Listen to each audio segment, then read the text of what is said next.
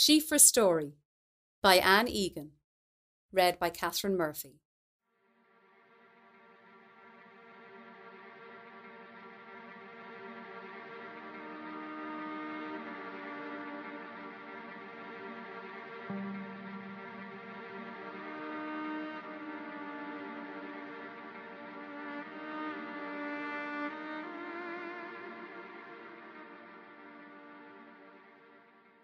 My name is Eleanor Bracken. I'm an archaeologist. Three days to write up a report that normally would take three weeks. Some hope. Eleanor, I can hold the blade for 40 minutes, no more. Michael, my ex, phoned me. I'll be there, hold it. With that, I loaded my specially adapted trolley case and four plastic containers into the back of my Berlingo. I was with him in a blink. Michael and his workmen stood by the bulldozer on the bog of Allen. Beneath the poised blade, I saw the most beautiful sight an archaeologist only dreams of the outline of a large, bulging satchel. You'll never lift that into your workshop, Ellie. I'll follow you. No thanks, Michael. My wheelie invention here would transport a stuffed elephant. You should go on Dragon's Den with that, the workman smiled. Michael slammed the door. If you think you can manage, I'm off so. Going to Wales for a machinery auction over the weekend. I drove back to my cottage in the Red Hills with my precious cargo. The furs blazed pure gold. Hooray! I shouted to the creamy clouds streaked in scarlet banners. I have the find of the century. It is mine, all mine. Well, for the weekend anyway. I was not going to bring it up to the museum until Monday. Break protocol. But who was to know? I was going to claim this beauty. No one else. No superior would rob me of my place in the sun. This time. By midnight, I knew my find was even more valuable than I first judged. Like a mother with a newborn infant, I gently opened the flap of the satchel. Inside, nice and moist, but not wet, all wrapped up in several layers of leather, then wool, finally linen, was a magnificent manuscript Late 10th century, I reckoned. I practically drooled over it. Without realizing, I began to sing a lullaby. I checked moisture content, temperature, light power, special infrared bulbs. I had bog water in the containers. A good firm sod of bog had been its preserver for over a thousand years. Dring, dring! I almost jumped out of my skin. The phone. Yes, yes, who is it? There was no sound. Wrong number, I thought. But the spell was broken. I actually slept on the workshop floor in a sleeping bag that night. I was loath to leave my ancient infant. I worked throughout Friday. The Gospel of St. John, I was cataloguing and photographing page by page. Work so delicate. Butterflies' wings came to mind. I knew I had the mythical Book of Allen, but a myth no more, a fact. I took notes, wearing special gloves. I constantly checked moisture content and temperature. I was a good mother. Oh, that's all you care about. You're all caught up in your work. You'd have to be some sort of dried out specimen to hold your interest. Old words filled the silence. Silence. Rat-a-tat-tat, so loudly on the door. My house is very isolated. Who was that? I locked the workshop door, peered out, my heart thumping. Good night. Hey, is this Eleanor Bracken's? A man's voice called. Who are you? I asked, quaking badly. I'm from the Leinster Leader. I don't mean to frighten you. We heard you have the Bog of Allen treasure trove. A golden cup, loads of golden coins, just what Kildare needs. Better even than the Derrynaflan chalice. No, no, no, not at all. Nothing like that. It's it's just some old bog butter, that's all. I had some job getting rid of him, promising an interview and photos on Monday. Only when he finally left did I ask myself, who told him? Michael? Back to work.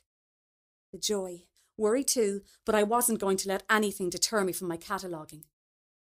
Baby, baby, all caught up in yourself. I thought I heard a mocking voice. I must pull myself together. I made black coffee and continued my examination. I fell fast asleep on the floor beside the precious baby, my right hand outstretched towards the moist sod. Saturday dawned bright and shiny. A shower, toasted cheese, sandwich, pot of tea, and I set to work. With my tiny platinum scalpel, I carefully turned over the last six pages of the manuscript. Now, what a surprise! I read the heading Siofra's Story. The margins were richly decorated in beautiful scrolls, forget me nots, all twined about. I began to read. My name is Killian. I am the scribe of Allen. My work is all done in John's Gospel.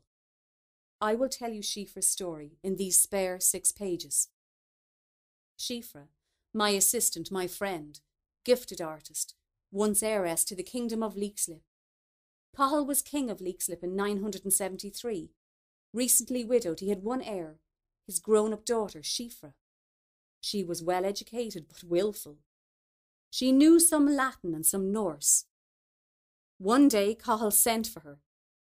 Your time to marry has come, Siofra. We've hard, hard times from the Norsemen. They sail up the Liffey with ease. They pillage and burn. They tear down houses. The monks have rebuilt often.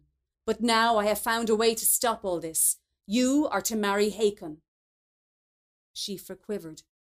Her beautiful face paled. Shadows darkened her luminous brown eyes. For days now, Norse chief Hakon had been meeting her father. In seven days' time, you will marry Hakon. We will make peace with those Vikings, and it will be through your marriage. Months later, I found a way to give Siofra a present. I said to her, Siofra, our beautiful manuscript, which we have finished together, will never have an equal. So much is due to you. I have six empty pages of vellum at the end, so I'm going to write down your story as you tell it to me. You will decorate this little book within a book with all your beautiful drawings and colours. You will never be forgotten. Siofra's story will be remembered in the Book of Allen. This was like finding a twin for an adored child. I read and worked, fascinated, absolutely absorbed. A white truck drew up in my yard. We're from Network 5.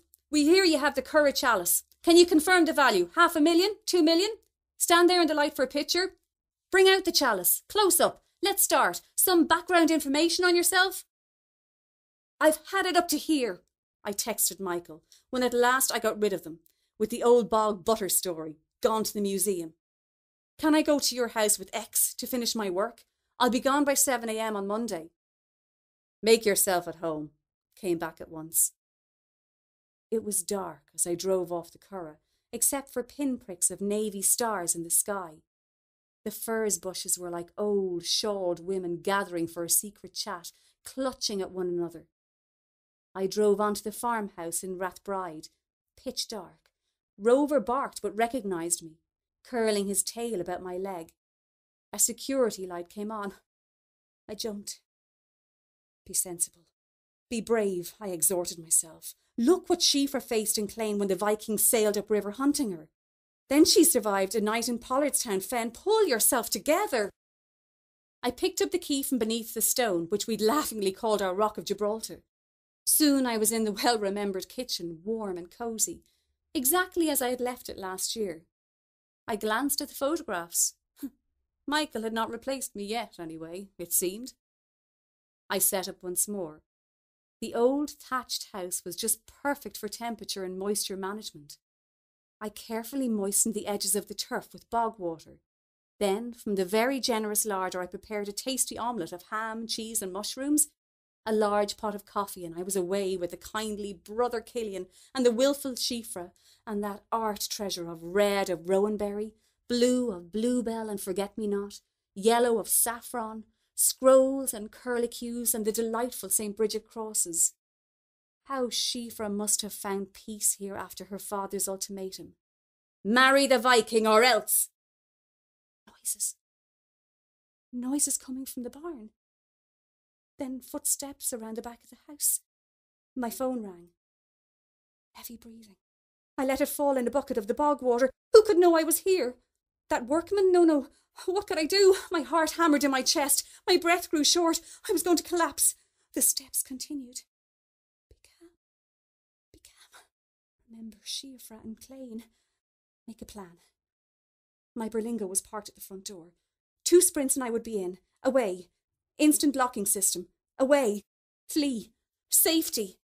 But I could not do it. I could not leave my beautiful babies behind me. My babies! Eleven hundred years old. I was taking them with me, or I was not abandoning them. Be Siofra, I whispered. Siofra finding her way to Pollardstown Fen, the terrors of the night about her. I grew calm. I repacked the manuscript in its layers, waterproofed, placed it in my wheelie case. I held my van keys on the ready. My scalpel was in my left pocket. Rover was fast asleep in his basket by the range. Silence. Crept to the door. Never creaked. I would have about 20 seconds. Place wheelie case in the back, slam door, jump into driver's seat, insert key, start engine, leave in darkness, immediately. Thor. Thor. I counted the never ending footsteps that circled the house like a Viking performing a pagan war ritual. Now! I grabbed the handle, pulled the wheelie case. I counted one to eighteen. I must hold my nerve. As I drove from the yard, a man raced towards me. I pressed down on the accelerator. My elbow accidentally hit the light switch. There, in full glare before me, was Michael. Michael! Arms outstretched. I swerved. The Berlingo careered out of the yard. I never stopped until I reached Kildare Garda station. Help us! Help us, I babbled. Afford us sanctuary.